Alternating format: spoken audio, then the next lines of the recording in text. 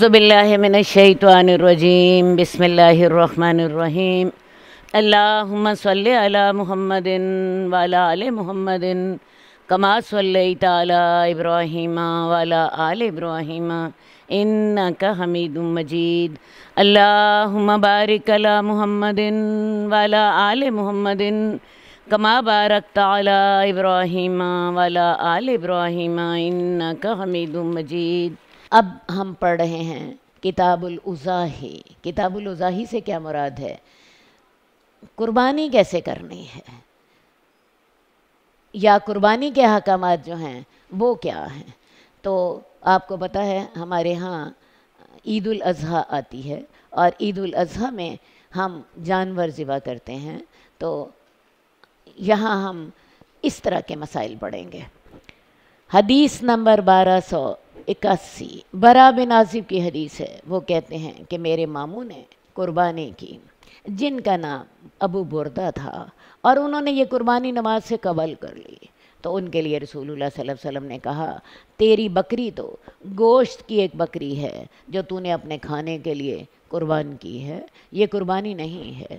تو انہوں نے کہا اللہ کے رسول، میرے پاس ایک جزا ہے۔ بیڑ کا، بکری کا ایک پلا ہوا بچہ ہے۔ تو آپ نے فرمایا، تو اسے ہی ذبح کر دے۔ اور وہ تیرے علاوہ کسی کے لیے درست نہ ہوگا۔ تو آئیے جی سب سے پہلے ہم دیکھ لیتے ہیں۔ قربانی جو ہے، یہ ہر گھر پر ایک قربانی ہوتی ہے۔ اور یہ صاحب نصاب شخص پر قربانی واجب ہے۔ ہر گھر کے لیے ایک ہی کافی ہے۔ ایک قربانی جو ہے، شوہر، بیوی بچوں سب کے لیے کافی ہے۔ باقی اگر خامد بھی مالدار ہے اور بیوی بھی مالدار ہے تو بیوی کی جو قربانی واجب تھی، وہ تو شوہر کی قربانی کے ساتھ ہو گئی۔ لیکن اگر اب وہ قربانی کرے تو یہ اس کی نفل قربانی ہوگی۔ جیسا کہ میں نے آپ کو بتایا کہ ایک گھر میں جو خامن کی قربانی ہوتی ہے، وہ بیوی اور بچوں کے لیے بھی کافی ہوتی ہے۔ ہاں اگر بیٹے جو ہیں، اب وہ بھی اپنے اپنے گھروں والے ہو گئے ہیں۔ گھروں والے ہونے سے کیا مراد ہے؟ شادی شدہ ہو گئے ہیں۔ ان کا اپنی اہل و عیال ہیں ان کے۔ ان ان، تو ان پر بھی پھر ایک قربانی واجب ہوگی۔ مثال کے طور پہ ایک گھر میں ایک باپ ہے، اس کے تین شادی شدہ بیٹے بھی وہاں پہ رہتے ہیں۔ تو چار قربانیاں اس گھر پہ ہوں گی۔ ایک بات یہ ہو گئی۔ دوسری بات یہ ہے کہ قربانی جو ہے، یہ چار جانوروں کی ہو سکتی ہے، یا اونٹ کی، یا گائے کی، یا بکری کی، یا بھیڑ کی۔ اس کے علاوہ اور جانوروں کی قربانی درست نہیں ہے۔ قربانی کا جانور تندرست اور موٹا ہونا چاہیے، بے عیب بے عیب ہونا چاہیے۔ اتنا کمزور نہ ہو کہ اس کی کمزوری کی وجہ سے وہ بالکل ہی اس کا برا حال ہوا ہو، اس کا جو ہے کان کٹا ہوا نہیں ہونا چاہیے، اسی طرح اس کی عمر جو ہے ایک سال کی سال یا اس سے زائد ہونی چاہیے۔ اگر وہ بکری ہے تو ہوا یہ کہ برا بن عاصب نے، کہ ماموں نے قربانی کر لی اور یہ قربانی انہوں نے نماز کے وقت سے قبل کی۔ اب مجھے آپ کو یہ بھی بتانا ہے کہ قربانی کا وقت نماز عید کے بعد ہے۔ نماز عید سے پہلے نہیں ہے، کیونکہ اس حدیث میں یہی مسئلہ بیان ہوا ہے۔ اب نماز عید کا وقت کب ہوتا ہے؟ میں مثال کے طور پہ آج کل سورج جو ہے پانچ بجے نکل رہا ہے۔ اب نماز عید کا وقت جو ہے سورج تھوڑا سا اونچا ہو جائے، نماز عید کا وقت شروع ہو گیا۔ پانچ بجے سورج نکلا، آپ ساڑھے پانچ عید کی نماز پڑھ سکتے ہیں۔ اب آج کل آپ دیکھتی ہیں کہ عام طور پہ نمازوں کے جو نماز عید کے اوقات چھ بجے ہوتے ہیں، سات بجے ہوتے ہیں، بعض جگہ پہ آٹھ بجے بھی نماز عید پڑھائی جا رہی ہوتی ہے۔ تو یہ صرف لوگوں کی سہولت کے لیے ہے۔ ورنہ نماز عید کا وقت جو ہے، وہی ہے جو اشراق کی نماز کا وقت ہے۔ بلکہ عید الاضحیٰ جو ہے، یہ زیادہ جلدی پڑھنی چاہیے، کیونکہ اس کے بعد لوگوں نے آ کے قربانی بھی کرنی ہوتی ہے۔ تو انہوں نے کیا کیا؟ ابو بردہ نے، انہوں نے عید کی نماز پڑھنے سے قبل ہی ایک بکری ذبح کر لی۔ تو رسول اللہ صلی اللہ علیہ وسلم نے فرمایا کہ یہ تو تم نے اپنے گھر والوں کے کھانا کے لیے ایک جانور ذبح کیا ہے، یہ قربانی کا جانور نہیں ہے۔ تمہیں ایک اور جانور اس کی جگہ پہ ذبح کرنا پڑے گا۔ اب یہ کہنے لگے کہ یا رسول اللہ، میرے پاس جو ہے چھ ماہ کا ایک بکری کا بچ، ایک بیڑ کا بچہ ہے جو کہ ساتویں ماہ میں لگا ہوا ہے۔ تو ایک دوسری حدیث میں ہے کہ انہوں نے کہا کہ میرے پاس اناک ہے اور یہ اناک کا لفظ جو ہے، یہ ایک سال سے کم کے لیے استعمال ہوتا ہے، جبکہ قربانی ایک سال کی ہونی چاہیے۔ تو رسول اللہ صلی اللہ علیہ وسلم نے کہا، لیکن انہوں نے ساتھ یہ بھی کہا، وہ جانور پلا ہوا ہے، خوب موٹا تازہ ہے۔ بڑا لگتا ہے۔ تو اللہ کے رسول نے کہا کہ تم اسے کر لو، لیکن باقی لوگوں کے لیے یہ جائز نہیں ہوگا۔ باقی لوگوں کے لیے قربانی جو ہے وہ ایک سال کی ہونی چاہیے۔ حضرت جابر کی حدیث مسلم میں موجود ہے کہ تم ایک سال کا جانور ذبح کرو اور ہاں اگر تمہیں مشکل ہو جائے تو علیحدہ بات ہے۔ ورنہ اصول کیا ہے؟ ایک ایک سال کا جانور جو ہے وہ ذبح کرنا چاہیے۔ اگر بے، اس میں سے بکری کی قسم میں سے جانور ذبح کر رہے ہو۔ ہاں اگر دمبا ہو تو دمبا جو ہے وہ چھوٹا بھی جائز ہے، کیونکہ دمبا جو ہوتا ہے ذرا اس کی نشو و نما اور طرح کی ہوتی ہے۔ تو دمبا اگر چھ ماہ کا ہو جائے اور ساتویں میں لگ جائے تو اس کی قربانی بھی جائز ہوتی ہے۔ تو پھر انہوں نے کہا کہ جس نے نماز سے قبل ذبح کیا، تو اس نے تو اپنے جان کے لیے ذبح کیا اور جس نے نماز کے بعد ذبح کیا، تو اس نے اپنی قربانی پوری کر لی اور وہ مسلمانوں کی سنت کو پہنچ گیا۔ اب یہ جو قربانیاں ہیں ہماری، یہ پل سرات پہ ہماری سواریاں ہوں گی، تو سوچ لیجیے آپ کو پل سرات پہ سواری کیسی چاہیے؟ پل سرات کا ذکر ہم کتاب الایمان میں پڑھ چکے ہیں۔ تو یہ قیامت والے دن پل سرات پہ ہماری سواریاں ہوں گی۔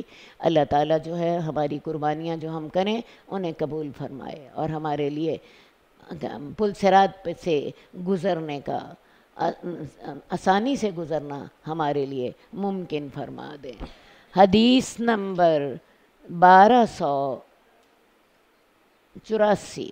حضرت انس کی حدیث ہے کہ رسول اللہ صلی اللہ علیہ وسلم نے دو مینڈوں کی قربانی کی، جن کا نام، جن کا رنگ سفیدی مائل سیاہی تھا یعنی جو ڈب کھڑبے تھے۔ ڈب کھڑبے کیا ہوتے ہیں؟ سفید بھی رنگ تھا اور کالا بھی رنگ تھا۔ تو دو مینڈوں کی قربانی کی اور وہ سینگوں والے تھے۔ ان دونوں کو رسول اللہ صلی اللہ علیہ وسلم نے اپنے دست مبارک سے ذبح کیا۔ اور ذبح کرتے وقت بسم اللہ اللہ اکبر کہا، اور اپنا پاؤں ان کی گردن پر رکھا۔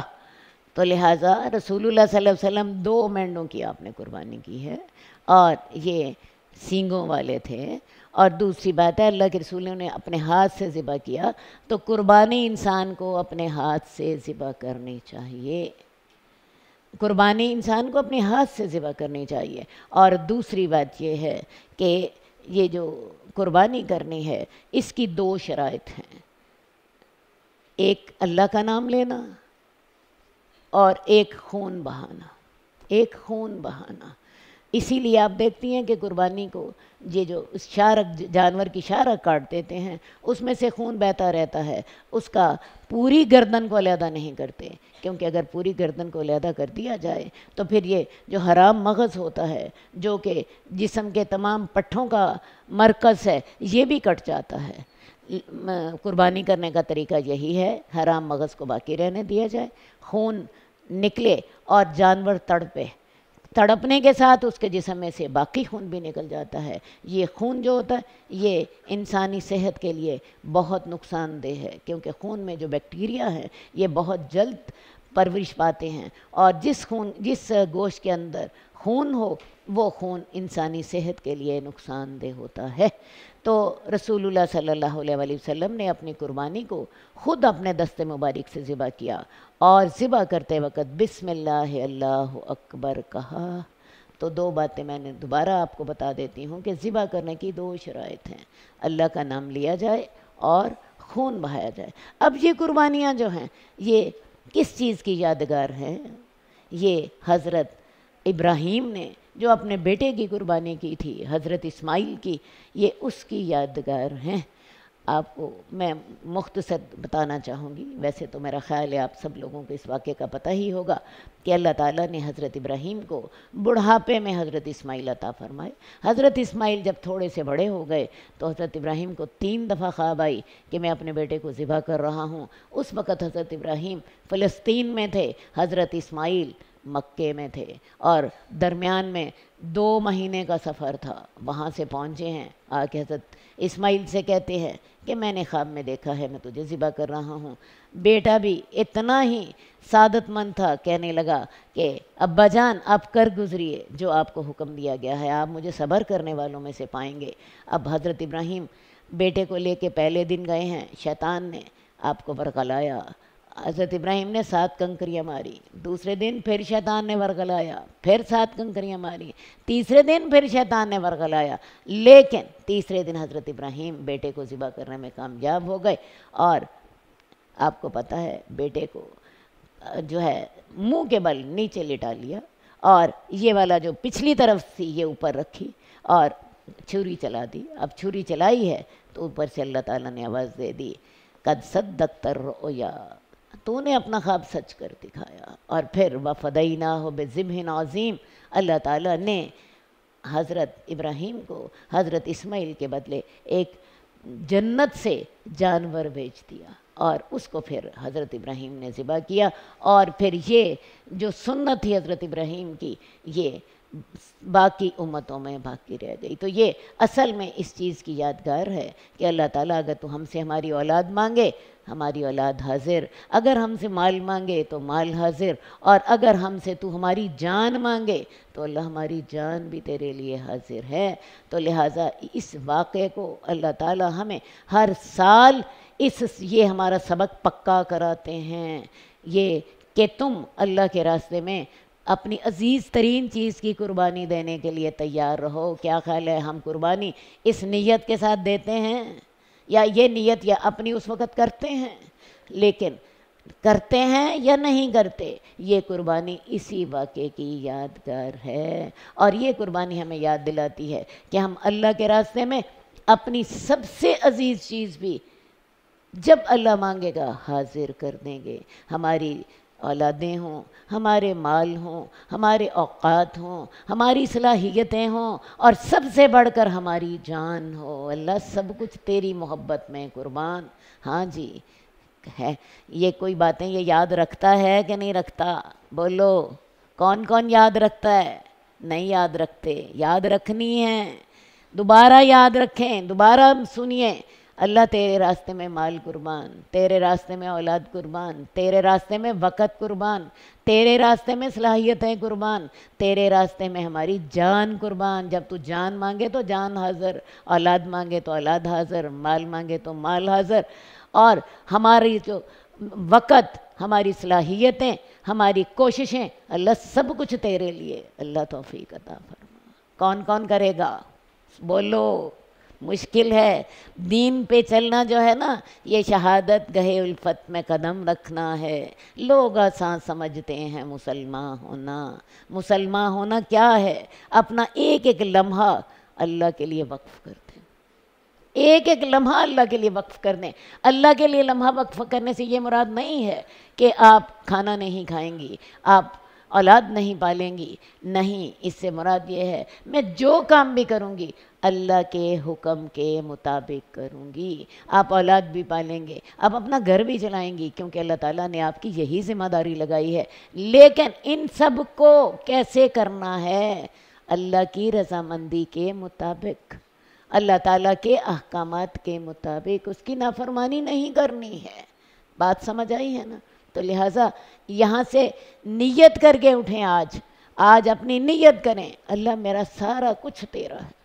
ان صلاتی و نسخی و مخیا و مماتی للہ رب العالمین اللہ میری نماز میری قربانی میرا جینا میرا مرنا کس کے لیے ہے اللہ رب العالمین کے لیے ہے سوچیں کیا میرا جینا مرنا اور بھی اللہ کے لیے ہے کہ نہیں ہے ہے یا نہیں بولیں ہاں اللہ کرے ہمارا جینا مرنا اللہ کے لیے ہو کیا خیال ہے اللہ نے تو ہمیں یہی سکھایا ہے نا? اللہ تعالیٰ ہمارا جینا مرنا اپنے لیے کر لے۔ میرے آقا، ہمارا جینا مرنا، ہماری زندگیاں، ہمارے سارا کچھ اللہ تو قبول فرما لے۔ حدیث نمبر بارہ سو نوے۔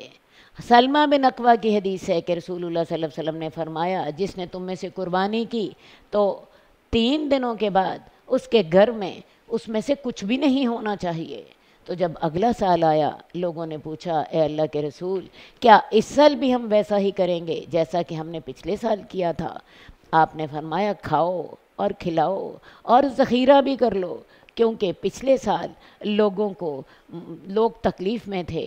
تو میں نے ارادہ کیا تھا کہ تم ان کی مدد کرو۔ لہٰذا اگر کسی سال آپ دیکھیں کہ مسلمان مشکل میں ہیں، کسی جگہ پر بھی تو ایسا کرو، اپنی قربانیاں ذخیرہ نہ کرو، اپنی قربانیاں مسلمانوں کی مدد کے لیے ساری کی ساری دے دو۔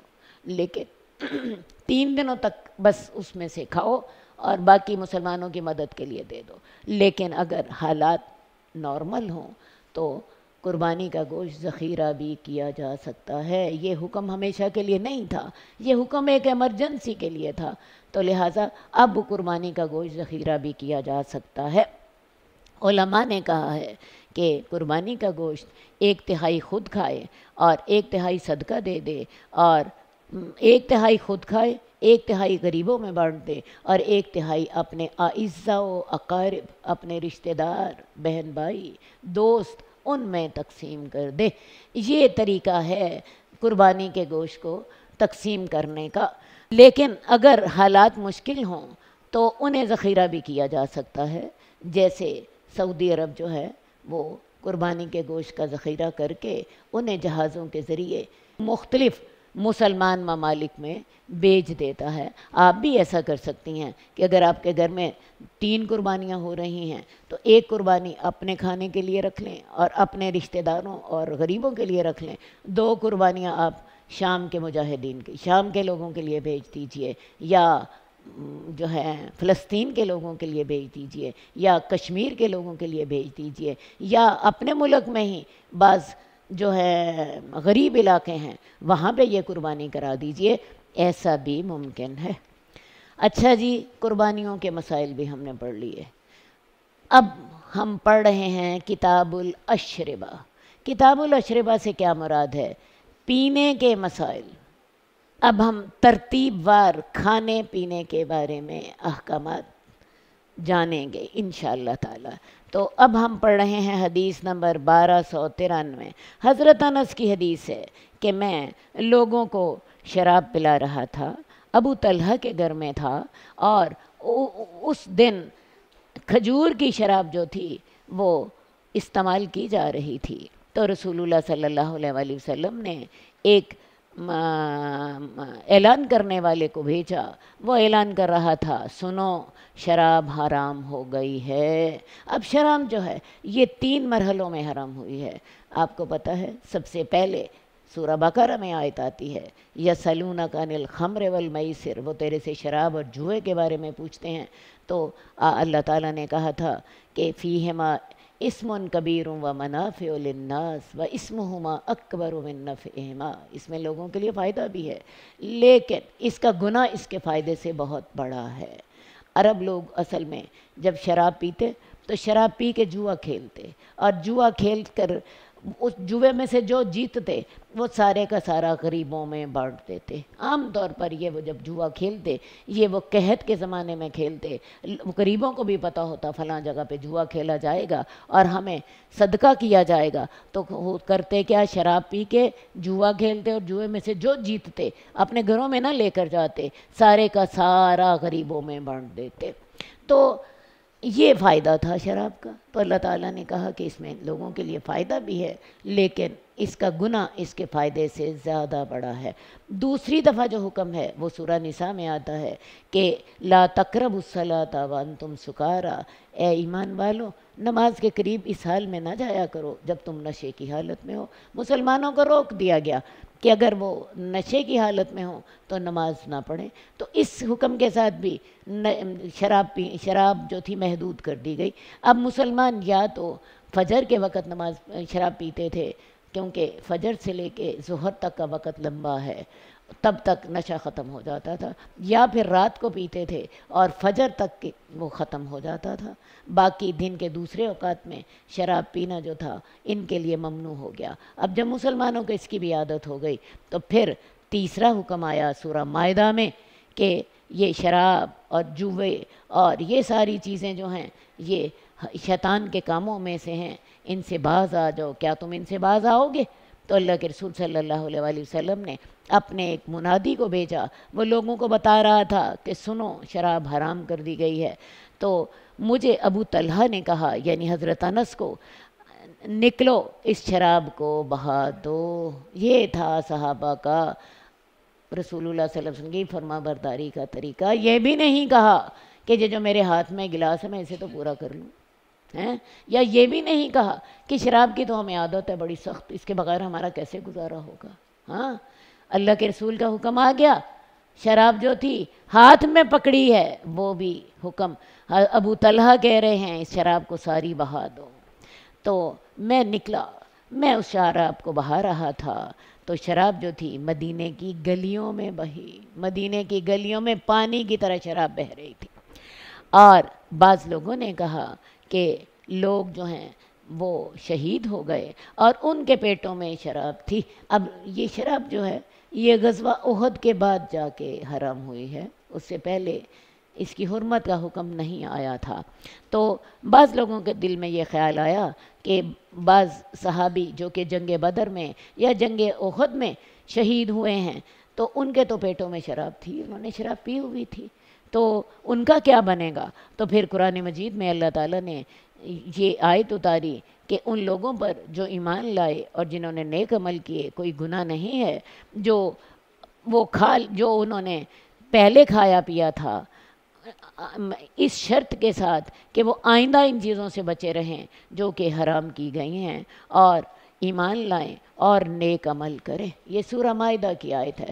اور اس آیت کے ذریعے اللہ تعالیٰ نے واضح کر دیا کہ اگر وہ لوگ اس حال میں شہید ہوئے کہ ان کے پیٹوں میں شراب تھی، تو کوئی گناہ نہیں ہے کیونکہ اس وقت شراب حرام کی ہی نہیں گئی تھی۔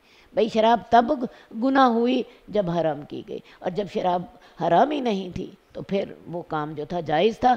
ہاں اب حرمت کے حکم کے بعد انہیں اس کے قریب نہیں جانا چاہیے۔ اب وہ ایمان لائیں اور نیک عمل کریں۔